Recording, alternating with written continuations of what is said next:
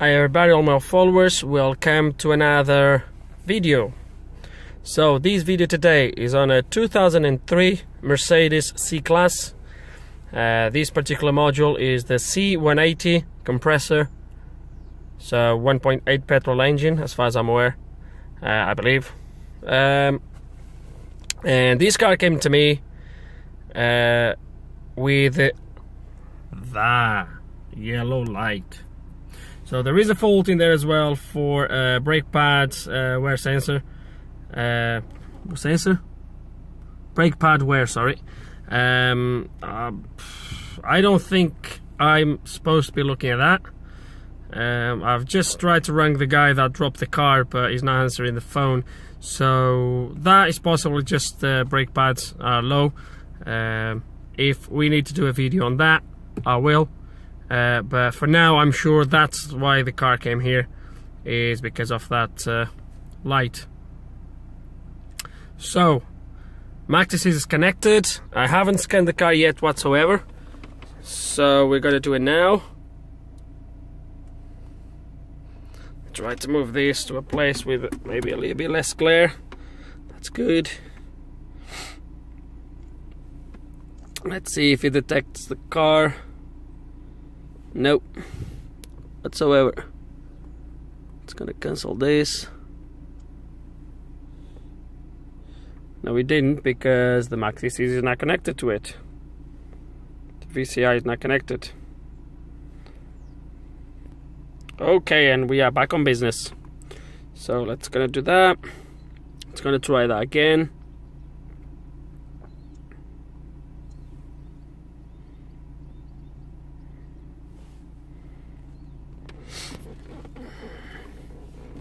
Lot of glare, isn't it?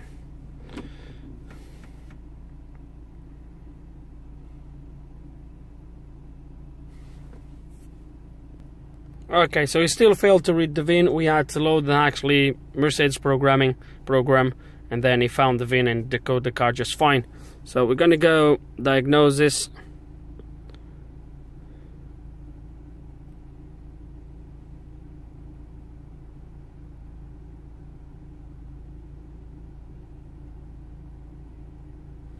Gonna go straight control unit.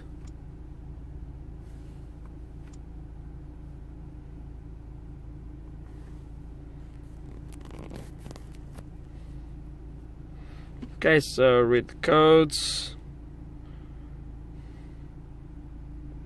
The engine is running and it's, it's running quite smooth. I can't really see. Okay. Misfire. Misfires. Damage to rear catalyst converter. This is not very good. There's some store codes here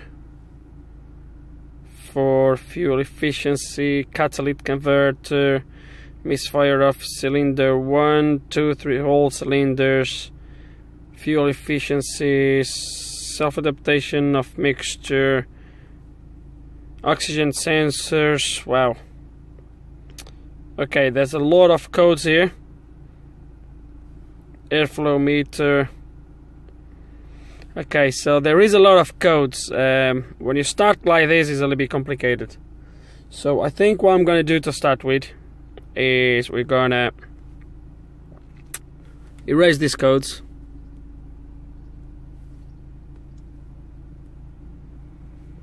Okay. The light went off straight away. He's asking me to, cycle the ignition, which we are going to do. And wait 10 seconds. And then we'll be back the turn the ignition back on. And I'm gonna actually start the engine. And the engine started just fine.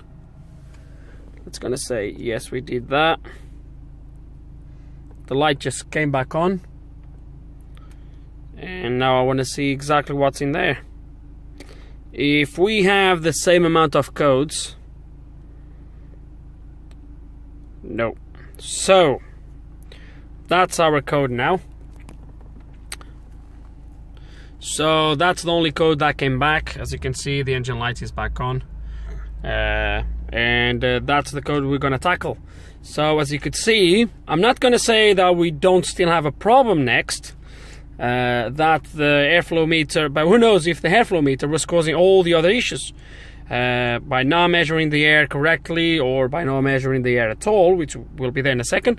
Uh, obviously, can't adapt the, the, the, the, mixture, air fuel, which was a code there for that, and then it, may, it can cause misfires, it can cause problems with the catalytic converter, obviously. So, yeah, so it might be that these codes just triggered all the other codes on the long run. So, that's why sometimes it is important for you guys not to just look at a list of codes like that and just panic because you know there's no point really. Um, so I didn't store the codes, but the the MaxiSys stores straight away all the codes. So in background, MaxiSys stores every single scan you do. Um, so that's why I've just went back delete. So if I want to go back and see which codes were here, I can do that quite easily. So anyway, but that that's off topic. So this is the code that came back. So this is what we're gonna look at. Now, the first thing I want to see really is exactly what information the ECU is actually seeing coming from this airflow meter. Okay, so we don't have nothing here for that. And look at that, is the only live data I have. Thank you very much, MaxiSys. So that's it. I have engine coolant temperature, which is fine. It's not that hot yet because I only started the engine before I start to record this video. Battery voltage, oil temperature, fuel level. Yes, the, the light is on, so that's fine. Uh, oil level, yeah, that's whatever. Engine is not running. Okay. Oil quality, 2.4. Okay. So, so what we're gonna have to do we have two options here one option is just let me see if there's any it's not gonna be nothing else nah that's that's nothing else I want to see the the live data coming from that uh, sensor if possible otherwise we might gonna have to get the scope on it but but I think I'm gonna have to get Star Machine to do this Um, as I was just saying, I could just jump into the sensor and have a quick visual look, which actually I might do that first. I think it's it's worth to do that. So let's go open the bonnet, have a look at the airflow meter, see if there's anything visible in there that we can see. Okay, so I did a quick uh, inspection. Uh, we uh, can't see nothing wrong with it, really. Uh, everything looks absolutely fine.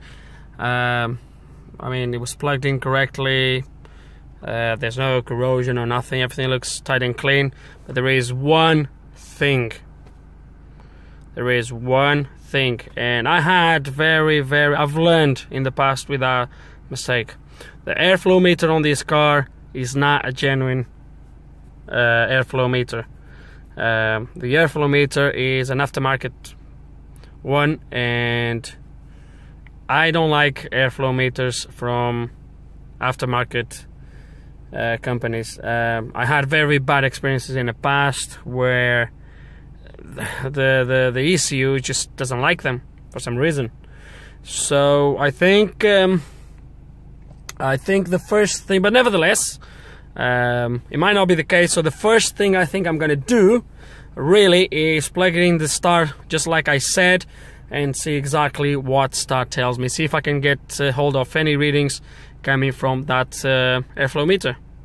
Okay, so I've been already uh, looking at a few things, but what we're going to do is look at that value as I said, try to read the value that the airflow meter is reading, um, is sending back to the ECU. So uh, the way you do it here on uh, DAS is you go to the fault code so this is our fault code, the same as the, on the MaxiSys. Uh, it would be interesting to try the MaxiSys, see if it works the same way. I have my doubts, but uh, I might try and we'll get back to you. Uh, so we will uh, click twice on this. So we double click on the fault. It comes with two things that you can look at. So a description of the fault, which brings you to here. To a document, okay? Or we can actually check the component. Now we can check the power supply if we do this, which will tell you what to check. Okay? Or we can go here and check the actual value. And that's why it brings. So it tells me that the pre uh, the prerequisites uh, temperature coolant uh, over 70, which it is, is an idle, AC off, which it is, and the specified values for the airflow meter should be somewhere between 5 and 13 uh, kilograms per hour. If engine speed rises, the air mass increases. Is the value okay? Look at that. No, it's not. Now, to see if the actually airflow meter is reading anything, I'm gonna press the pedal and we'll see if that value changes. And look at that. It actually changes. But when it comes down to idling, it goes to zero. So now what I'm gonna do is I'm gonna accelerate very gentle until I start to get a reading. Okay, so there we go. So I have a reading. Let me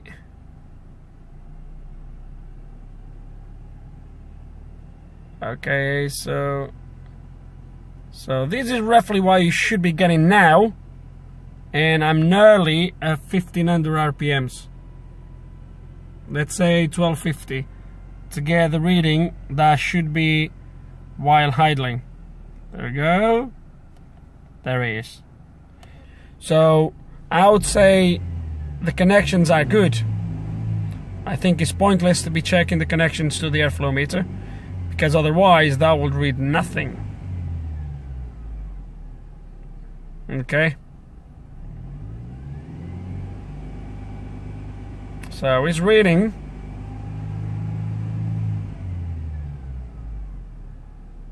Okay, I, I, I'm, I'm of the opinion that we have a, a bad airflow meter. To be fair, um, but I'm going to inspect the system around, see if there's any leaks, any any, I don't know, any cracked pipes that could somehow influence these readings here.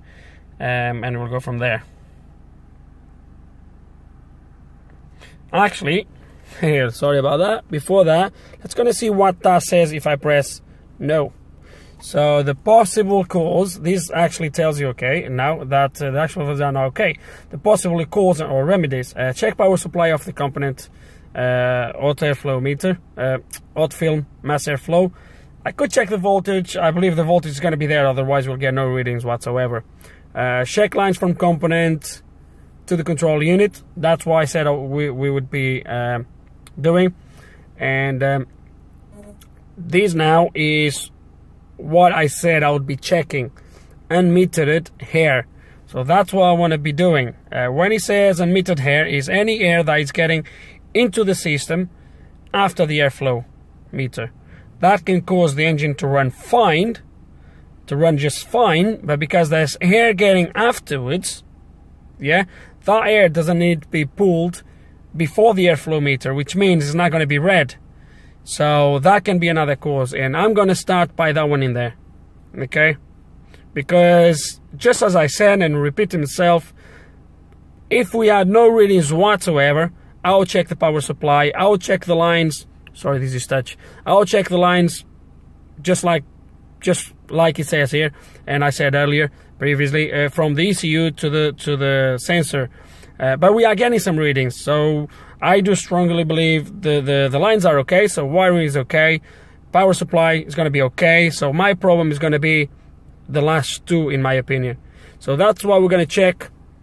I just said this is touch. So that's what we're gonna check next, and um, and see if we find anything.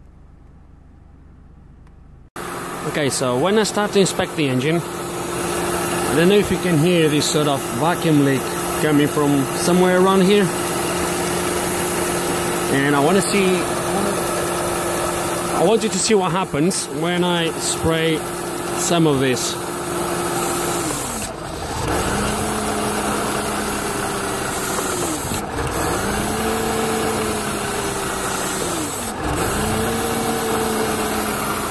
This is just normal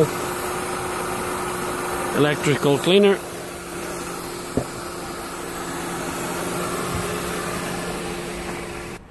okay so here you can hear me probably a little a little bit better so when I went in there and checked the engine, um, as I was saying, I heard that sort of vacuum leak, or what it looks like a vacuum leak.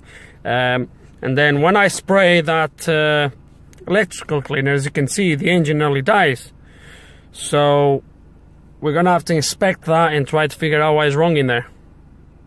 Okay, so we just removed the filter housing where the ECU is and uh, the intake pipe here. And as soon as I remove this out and look at that area it's getting dark so but look at that. Oh you can still see a little bit like that. So look at that. It's completely gone here okay. And another thing is I don't know how good you're gonna see this one but can you see right there right at the bottom at the end of the screwdriver? The pipe is completely split in there as well. So this rubber pipe is absolutely gone.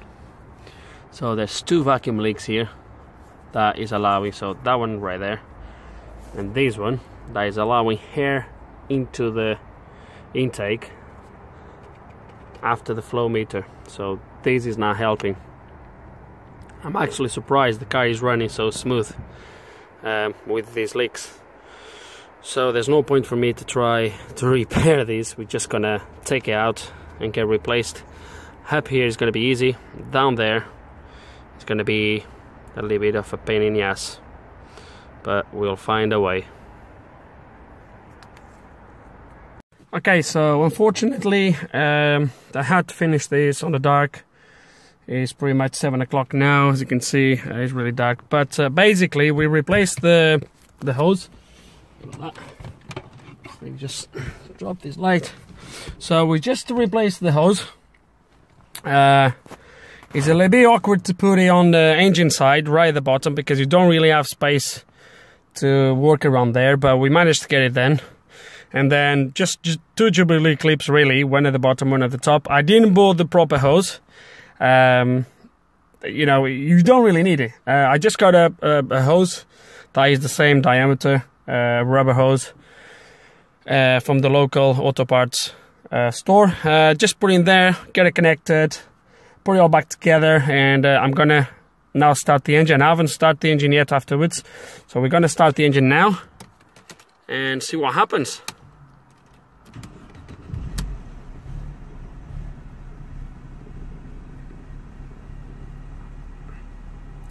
Okay, so the engine is running.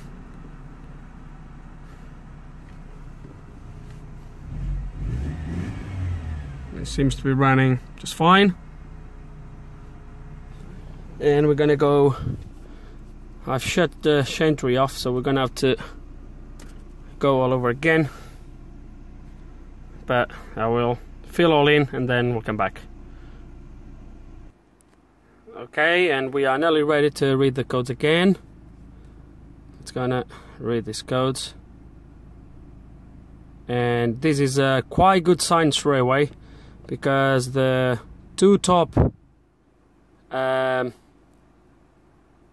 faults, so the fault with the hot mass airflow is now stored and uh, well I had the engine disconnected so what I want to do now is want to go here and see if we have any live data for the sensor now and look at that look at that see so basically, that's what we just said earlier, that a vacuum leak was allowing air into the engine, enough for the engine to run, without the airflow meter to measure anything. As you can see, we have a good reading now, which is absolutely spot on. That's what we needed. So we're gonna go back, and I'm gonna delete these codes. I uh, the self-adaptation, reach at stop, tendings, blah blah uh, we're gonna delete this and see what happens but uh, hopefully the car now is gonna learn all the mixtures again. I could just uh, possibly uh, reset all the adaptations and all that stuff which uh, actually let me see if there's anything here. Learning processes learning throttle, learning recirculated, resetting sensor adaptation. What's this one for? Let me see what this one is for.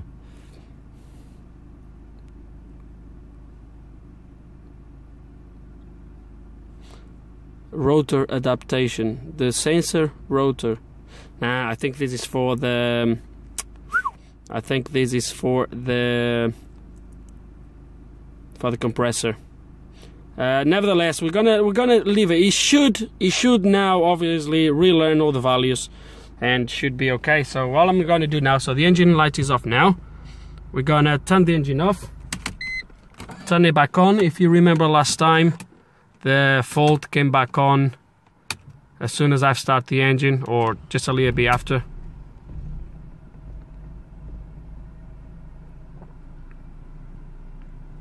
I think it's going to take probably some a few drive cycles until you start to learn everything again but let's just going to check the faults again. So that's just a self uh, self adaptation of mixture. Is stored anyway. So I think that was the little bit at the start possibly. So all we need to do now is uh, go for a drive or drive the car and uh, he should these faults should uh, should go away I believe. Because obviously let me restart the engine again.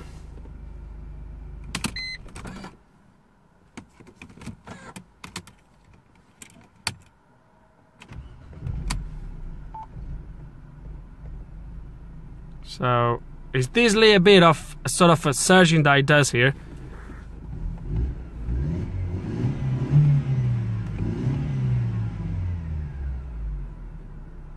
but the engine light is not coming back on now which is which means we have sort this problem. Go to the fault codes again. It's gonna come up again with that uh, oh no code no fault codes. So I, I think is all he's going to take now is a, is a drive cycle or a few drive cycles until he starts to relearn everything obviously because he now has the proper measurements from the airflow meter and all that stuff. So he's going to start to adapt the mixture again and uh, that's it really. I think the problem is sorted. Uh, i do apologize once again uh, for finishing this video on the dark but and not to show you uh, the final uh, job. But basically like i said we just replaced the hose. Um, so yeah so that fault saying was a short circuit and check this it was nothing to do with that. Uh, that was why it was that vacuum leak. And that's it problem solved. Um, what to say. Hope you enjoyed the video. Hope there's information here that can help you out. Um, if you have any questions, any comments, please put them below. And like always, thank you for watching.